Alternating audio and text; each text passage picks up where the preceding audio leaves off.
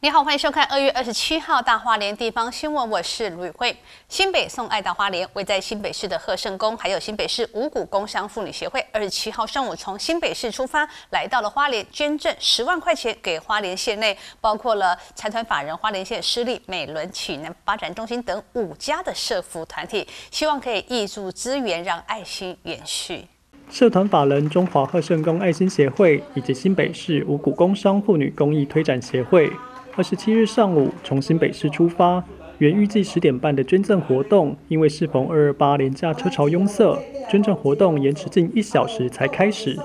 爱心捐款仪式中，捐赠新台币十万元给花莲县内财团法人花莲县私立美伦启能发展中心、花莲县大比大关怀协会、中华民国旧事慈善协会、社团法人花莲县得力青少年与儿童家庭关怀协会。以及正德佛堂花莲分院附设爱心厨房等五家社福团体，希望能挹注社福团体裁员，让爱心无限延续。社福单位也致赠感谢状给新北市出席单位，并由花莲县府秘书长张一华出席见证。